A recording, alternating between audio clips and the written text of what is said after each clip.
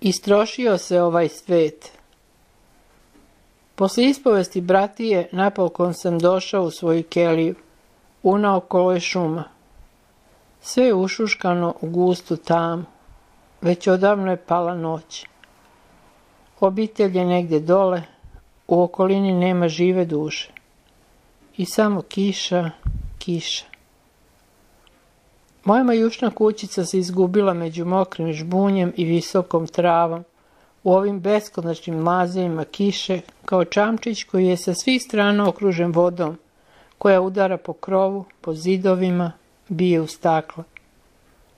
Ali unutra je suvo i toplo, mutno, neveselo svetli kerozinska lampa sa zadimljenim staklom, u uglu s ikonama gori kandilo i ovom malom prostoru pridaje značaj i smisao. Sedim iznemoglo, slušam tišinu. Tačnije, dobovanje kiše. Nekako mi je tužno na srcu, pusto. Sve je mrtvo unaokolo. Danju, kad čovjek gleda naš poljašnji manastirski život, čini se da se nešto radi, da naš brodić pliva punim jedrima u srećnu daljinu. Ali eto, posle ovakve večernje ispovesti, kad se skine zavesa varljivih spoljašnjih poslova, šarene iz praznosti, veštačkih reči i gestova, kad se obnaži nagota izranavljenih duša, duboko razjedenih gubom strasti, duša odjednom tako tužno, tako beznadežno počne da boli. Kiša još uvek pada, kao da se ceo svet podelio na male čamce koji usamljeno plove. I svako je nasamo s ovim morem, hladnim, strašnim, bezdanim. Nasamo je s ovim duševnim mrakom, s ovom zlokobnom tamom, koje se s vremena na vreme pomaljaju nekakve strašne njuške, zlobno i podmuklo se smeše, plaše nas i opet nestaju u gustoj tami noći. Doći će dan i doneće samo privid svetla, iluziju bodre delatnosti i plodnog rada. U stvari, već je odavno gluva crna nevidelica obavila ovaj svet. Kako je malo vere ostalo u nama. Kako je malo života u našem duhu. Neka teška sila sve vuče na dole. Kao da se zemljina gravitacija višestruko pojačala. Sve je postalo neizdrživo teško u duhovnom smislu. Kao da su sve duševne snage pritisnute olovom, čovjek ne može da se mrdne, da učini odlučan pokret. Svi ispovedaju hladnoću, dosadu, potpuni nedostatak osjećaja za molitvu, čak strah pred svakim duhovnim delanjem, tromost, sanjivost, brbljanje i šaljivost, prejedanje, uninije, ozlojeđenost. Sve hrišćansko se čini nevoljno, pod pritiskom, prosto zbog računice neke pristojne logike, bez duše, bez radosti, kao da se Bogu plaća težak danak. Svi osjećaju nekakvu okamenjenost srca, koja nikako neće da omekša. Ni od molitve, ni od čitanja, iako ponekad na kratko kao da spadne s duše, isto tako se opet vraća na svoje obično mesto.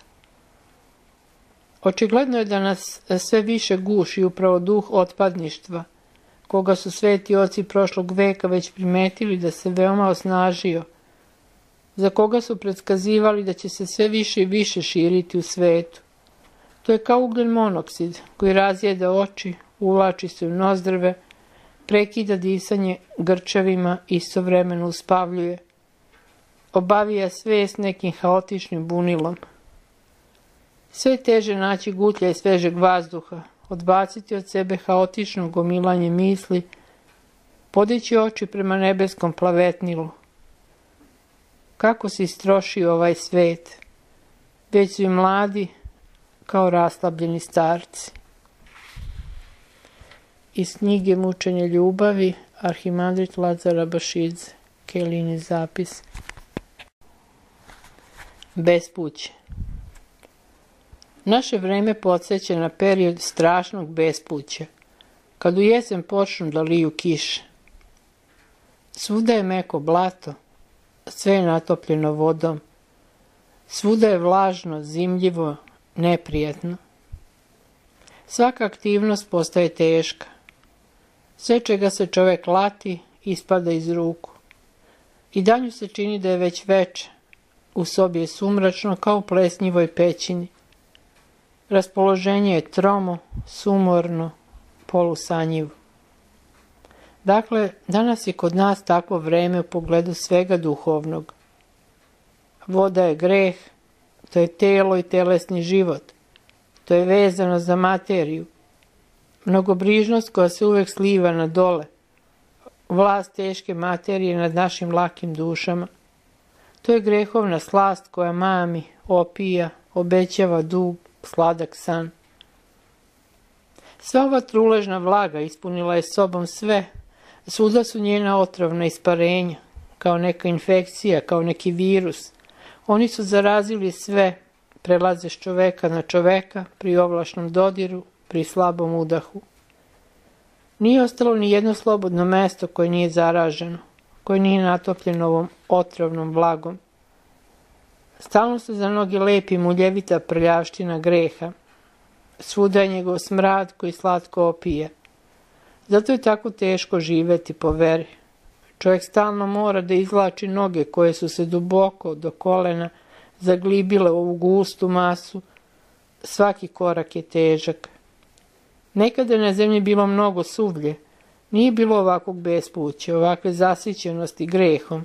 Bilo je tvrđe, čvršće na zemlji. Još se sa strane moglo naći suvo mesto, još se moglo zaobići blato.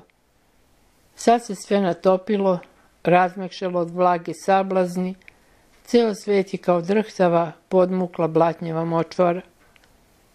Eto, tako i živimo. Tužna, kišna, hladna jesen. A sunce na zalasku. Tri dana sam bio u gradu. Krajnje sam umoran. Ipak je ponekad korisno izaći iz manastira, da bi se naš život u obitelji pogledao sa strane. Kako se odmah zaboravljaš, prestrojavaš, uvlačiš u drugačije odnose s ljudima, nerviraš, rasejavaš i onda počinješ jasno da vidiš kako je ogromna razlika između ova dva sveta, grada i manastira, čak i savremenog manastira. Tek posle ovakvog pražnjenja baterija, iznemoglosti i opusteš, opustošenosti, čovjek počinje da ceni manastirski način života. Ima kakav danas bio naš život u obitelji, rasplinut, neuređen, neskladan, u porađenju sa svetom, to je zaista inočestvo, nešto potpuno drugo, što postoji po drugačijim zakonima koje svet cinično gazi. A svet kao pijana, razuzdana, obnažena bludnica, koja samo na temu razvrata i bluda može i da govori, da razmišlja i da se šali, prenese samo kad vidi ili čuje nešto plitko i vulgarno. Kakav čudan spoj. Savremeni razvoj nauke, letovi u kosmos, fantastična tehnika, kompjuterski umovi i slično – i u sve to čovjek se u slobodno vreme, kao i ranije, raduje i odmara jedino kad gleda nešto veselo iz oblasti seksa i nasilja, nadražujući samo najniže životinske, čak i niže od životinskih strasti i prohteve. Kakva opustošenost, primitivizam i podivljalost i sve ovo na fonu super tehnike, super nauke, komfortnog svakodnevnog života – Stalno isto divljačko, varvarsko skotstvo. Sve je usmereno samo na telo, na spoljašnjost. Ono što je ispod ovoga neki žele da prikažu kao nekakvu amorfnu, iluzornu maštalačku, ružičastu maglu, koja je dobra samo kao pozadina za život po telu. Duhovno, pod navodnicima duhovno, je samo ono što prijatno ističe i daje romantičan ukus opijenosti grubo telesnim. Kao što se prilikom poklonjenja paganskim kipovima obožavala statua koja se smatrala bogom, iako je unutra bila prazna, čak i mogla biti ispunjena armaturom, kamenjem i glinom, pri čemu je pozlačena površina plenila srca. Pa i najskromniji život u obitelji danas predstavlja suprostavljanje duhu ovog sveta. Čak su već i obična hrišćanska pristojnost i pobožnost u najskromnijim oblicima redkost. I to je već previše i to nije od ovog sveta. Naš život koji ni izdaleka nije podvižnički, već samo uzdržan, izaziva kod ljudi sveta nedumicu. Kako to? Danas živjeti u šumi, bez struje, bez televizora, bez štampe. Odreći se prava na porodicu, to je bezumlje, fanatizam, divljaštvo. Da, u ovom svetu kao da više nije ostalo mesta za monaštvo, a verovatno ni za hrišćanstvo uopšte. Sve ustaje protiv Boga i njegovih zakona. Nisu bili preoveličani predstojeći predosjećaji i predskazanja svetitelja Ignjatija Brjančaninova o budućem ostupništvu. Što dalje vreme bude proticalo, bit će teže.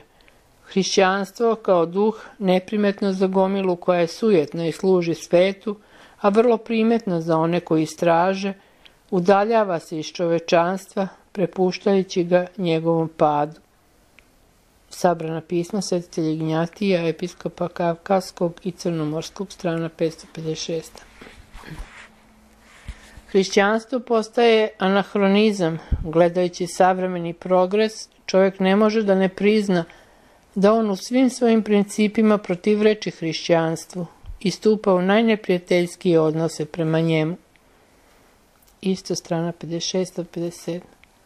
Očigledno je da se hrišćanstvo, taj tajanstveni duhovni dar ljudima, na neprimetan način za one koji ne vode računa o svom spasenju, udaljava iz ljudskog društva koje je prezrelo ovaj dar.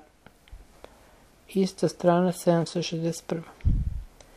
Zalazeće sunce živo oslikava današnje stanje hrišćanstva. Svetli isto ono sunce pravde, Hristos, on zrači istim zracima, ali oni više ne izlivaju ni onaj sjaj, ni onu toplotu kao u vremenima koje su nam prethodila. To je zato što zraci ne padaju direktno na nas, već dolaze samo u kosnom smeru i lako skliznu sa nas. Ista strana 374. Sveto pismo svedoči da će hrišćani, poput jevreja, početi postepeno da se hlade prema otkrivenom učenju Božijem. Oni će početi da zanemaruju obnovljenje ljudske prirode od strane Boga čoveka, zaboravit će na večnost, svu pažnju će usmeriti na svoj zemaljski život. U ovom raspoloženju i pravcu počet će se bave razvojem svog stanja na zemlji kao da je večno i razvojem svoje pale prirode, radi zadovoljenja svih zahteva i želja duše i tela. Razume se da je iskupitelj koji je iskupio čoveka za blaženu večnost, tuđi ovakvom usmerenju. Ovakvom usmerenju svojstveno je ostupanju od hrišćanstva. Ista strana 423. Idu nadolaze strašni talasi svetskog potopa koji istrebio ceo ljudski rod. Talasi laži i tame okružuju sa svih strana, spremni su da progutaju vaseljenu, da istrebe veru u Hrista, da podrivaju njegovo carstvo na zemlji, guše njegovo učenje, oštećuju naravi, otupljuju i uništavaju savest, uspostavljaju vlast zlobnog svetodržca. Stanje u kome se nalaze crkva i hrišćanstvo izuzetno je žalosno. Svuda je žalosno. Ostvaruje se ono što je u predskazanu u pismu. Hlađenje prema veri obuzelo i naš narod i sve zemlje u kojima se pravoslavlje do sada držalo. Može se smatrati da se pitanje pravoslavne vere bliži konačnom razrešenju. Pad manastira koji se u znatnoj meri već dogodio, neminovan je. Samo, po, samo posebna milost Božja može da zaustavi sve pogubnu moralnu epidemiju, da je zaustavi na izvesno vreme, zato što treba da se ispuni ono što je u pismu predskazano. Može se smatrati da se mnogo toga što je Sveti Ignjatije predosećao i predskazao ostvarilo u godinama strašnog progona vere tokom ovih posljednjih 70-80 godina. Ali to su samo prvi od onih strašnih talasa koje je svetitelj video Sad je malo zatišje, samo varljivo umirenje vode. U daljini se već crne gromade razornih, razornih talasa koji se već približavaju. Bura tek skuplja snagu, hladnokrvno uzburkava mutni bezdan, dovodeći ga u sve veće i veće katastrofično kolebanje. Samo još malo i već će se ceo svet podići u jedinstvenom porivu protiv svog tvorca, ujediniti u sveobuhvatnoj težnji da zacari, čak da obogotvori samog đavola. Ubrzo će svi složno i likujuće vikati kao što su nekad protiv Hrista klicali rastni ga, rastni ga. Sad ću u jednom duhu klicati zacarimo, zacarimo ga, proslavimo ga okrećući ganuta lica i pružajući drhtave ruke prema čoveku koji je dušu prodao đavolu. Vidjeći sve ovo i pamteći sve ovo, možemo na drugi način da pogledamo na savremeno monaštvo. U ovakvom slučaju čak su i ovi manastiri u svu svoju nemoć krajnje važni, jer posljednja generacija hrišćana koje prestoji iskušenje najteže od svih koja su ikad bila dopuštena – Treba negdje da se nadiše hrišćanskog vazduha, da skupi snagu, da na to nataloži salce, da se napije vina, koje veseli nezemaljskom radošću, da se makar malo opije, razveseli, da izgubi razum, nadahne srce za ono što nije od ovoga sveta. Inače, kako i da se održe protiv sablazni Antihrista? Onaj ko nije okusio slast duhovnog ploda, ko nije spoznao radost koju daruje duhovno vino, neće i ceniti. Tim pre neće menjati za njih svoj jadni dvopek, svoje zemaljske prolazne nade u mali mir i trenutni ovdašnji pod navodnicima raj. Gospod štedro izliva na nas sva blaga, i duhovna i telesna, kako blagodat Božija mnogo teši i ukrepljuje savremene jadne hrišćane – i naročito monahe. Kako lako i brzo počinju da se grade razrušena zdanja manastira, da vaskrsavaju hramovi iz ruševina. Savremeni hrišćanin samo treba da poželi nešto u vezi sa spoljašnjim uređenjem pobožne atmosfere u nekom prostoru i odmah se pojavljuje brza pomoć i sadejstvo. Šta je to? Zar to nije brza priprema za poslednje događaje? Da li će našem nemoćnom naraštaju pasti u udeo da postane jer je otvrdnulo srce ovoga naroda.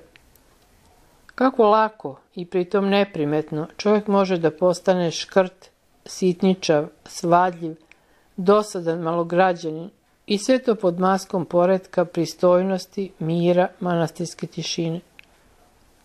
Kako lako te pristojnosti, pod navodnicima i spokojnosti, mogu da postanu cilj same po sebi i da pretvore monaha u suvog, mrtvog, i nadmenog fariseja, uvek razdražljivog zbog sitnica i nezadovoljnog svakim na koga naiđe. Reklo bi se da se čini sve što je potrebno da se stvore uslovi za unutrašnji život, ali do unutrašnjeg života ne dolazi. I sva borba se sredsređuje na ovo beskonačno stvaranje uslova, a od ovakvog sizifovog posla presušuju ostaci života, duša brzo i nepovratno stari, skuplja se, i zatvara u svom egu. Umesto da stiče sve veće unutrašnje bogatstvo i teži ka drugom svetu, čovjek se skuplja, postaje plitak, sve ograničeniji, dosadniji i samo se navikava da se marljivo bakće svojim starim duševnim tricama, sve više se opija svojim nekadašnjim mrđavim navikama i naslađuje tajnim željama. Sve ovo pod pokrovom spoljašnjeg spokoja i pristojnosti. Tako biva sa svim u hrišćanstvu kad se ono zadržava samo na formi i kad nema sadržaj.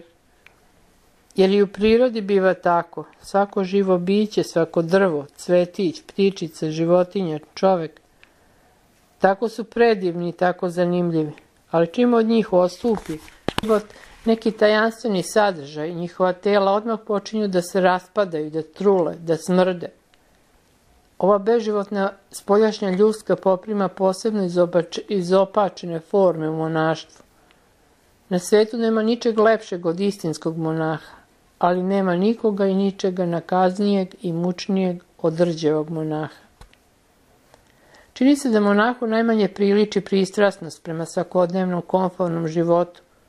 Malograđanska težnja prema toplom kutku, ukrašenom ovozemaljskim lažnim sjajem, uspokojenje u verovanju u postojanost i dugovečnost svog zemaljskog uređenja. Ali upravo se mi, monasi, danas trudimo da se ukorenimo čvršće, sigurnije, konfornije, jače, čak i armirano betonskije na ovoj trošnoj zemlji koja se trese. Naravno, pogruziti se u svet molitve, ostati nasamo s duhovnim svetom, licem se okrenuti prema Bogu i ne odvajati pogled od gledanja ovog lika, ni zbog koga i ni zbog čega. Sve ovo zahtjeva i osamljivanje i skrivanje u sebi i odvojenu keliju s minimumom komfora i još mnogo toga. Ali ni za trenutak stvaranje uslova ne sme da ostane bez istog onog delanja radi kojeg se ovi uslovi stvaraju. Kad čovjek preskače jarugu, čim se jednom nogom odbaci o jednu ivicu, drugom nogom je snažno grabi ka drugoj. Okom pažljivo meri rastojanje i plaši se. Da li će promašiti i da li će doseći suprotnu stranu. Tako i ovdje. Ako se napor i trud usmere samo na to da se čovjek odbaci od mnogometežne ove obale, a pažnji i napor se ne usredsrede da se odmah dosegne druga obala, može da se odleti u provaliju. A mnogi od nas nalaze se upravo u ovakvom položaju. I to ne samo pojedinci, već kao što možemo vidjeti i cijeli manastiri.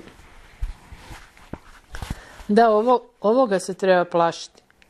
Kad monah počinje da živi kao neki penzioner, otpisan sa životnog puta kao kukolj, koji niče pored prašnjave ivice puta, koji se dosadno ljulja, pokriven prašinom kad kočija kočije projure puta.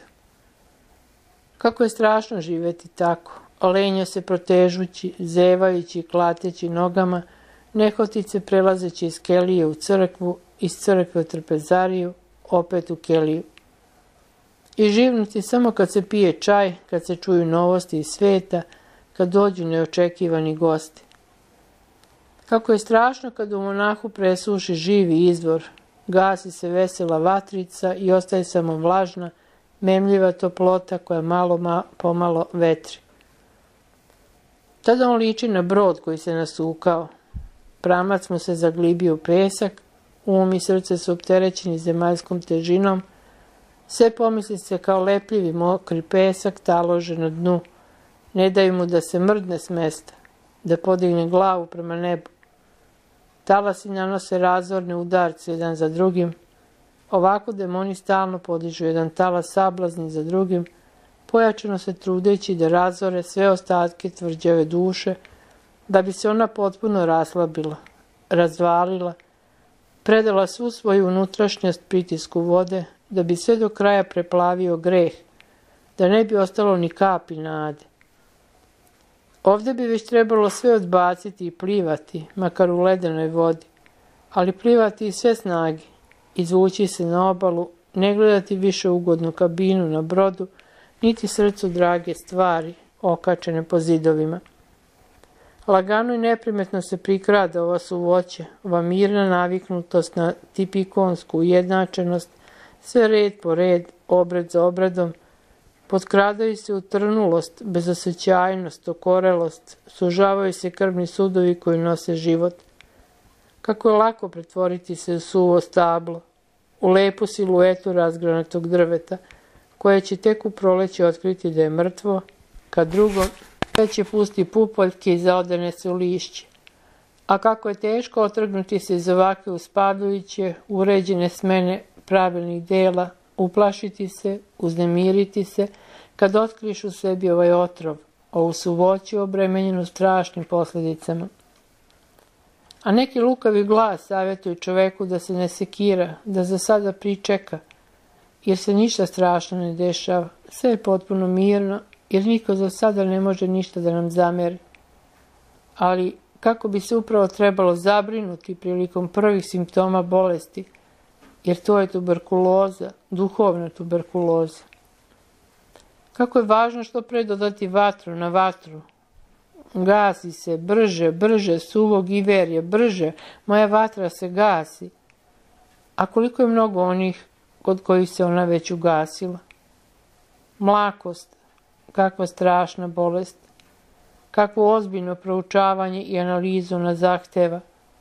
Kako bi bilo važno odmah na samom početku duhovnog života percovati sve vernike protiv ove strašne bolesti. Gde li su lekari? A otkuda naše nevolje? Sveti Pahom je video nešto vrlo strašno. Pred očima mu je bio prizor kako su neki od monaha u čeljusti lavova, drugi u čeljusti krokodila, treći u vatri, a četvrti ispod planine na koju nadolaze talasi. Pokušavaju da se popnu na planinu, ali se ispostavlja da su svi njihovi napori uzaludni. Svi su vikali, gospode, pomozi nam. Drugi put je u zanosu vidio neku vrlo duboku, strmu i mračnu jamu, u kojoj hodaju bezbrojni monasi, ne prepoznajući jedan drugog, kao slepi, naleću jedni na drugi.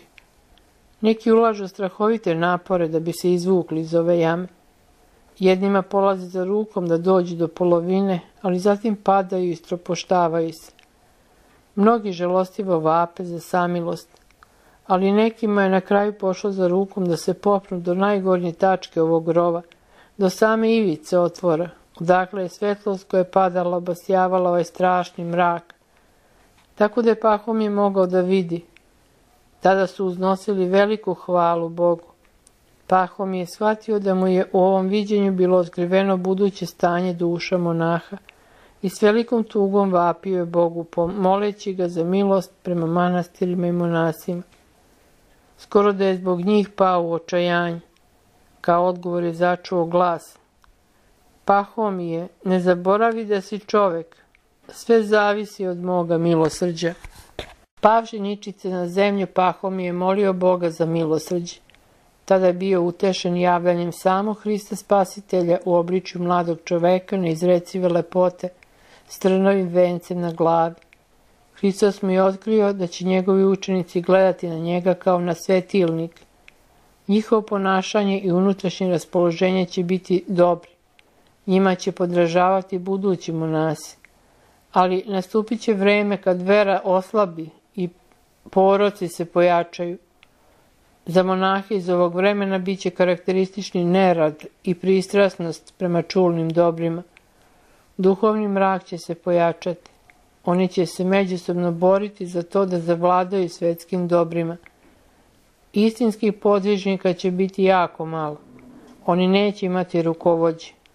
Sami će morati da postiču sebe na delanje dobra i udaljavanje od zla. Naravno, njihovi podvizi će imati malu vrednost u odnosu na podvige prvih monaha, ali će oni dobiti nagradu isto kao prvi, zato što će morati mnogo da trpe zbog uslova savremenog života koji su za monahe teški. Ovo otkrovenje je bilo dato oko 340. godine i sve što je u njemu otkriveno, otkriveno je upravo nama i najneposrednije se tiče nas. Sveti episkop Ignjatije previše od sto godina posvjedočio podviga nema, rukovođa nema, samo nevolje zamenjuju sve. Da, ali kakve nevolje i tuge? Nevolje upravo zbog toga što čovjek želi istinsko monaštvo, što teži ka njemu svim srcem, ali ne nalazi ni uslove, ni učitelje, ni one koji bi ga ohrabrili primjerom i nadahnućem. U sebi samom svaku časa nalazi izdaj i ostupanje od izabranog puta. Ali da li ima mnogih koji tako tuguju? Da li često tugujemo zbog ovoga? Tražimo li i ne nalazimo i zato tugujemo? Ili i ne tražimo, ali nas muči griža savesti i tugujemo upravo zbog ove izdaje i prevare? Gde je granica između spasonosne tuge koja traži milost i pogubne tuge predosjećaja svoje odbačenosti i otuđenosti od Boga? Mali broj među nama može da se uzda u spasenje kroz nevolje koje ovde trpi. Ali same ove nevolje treba temeljno analizirati odakle su, gde im je koren.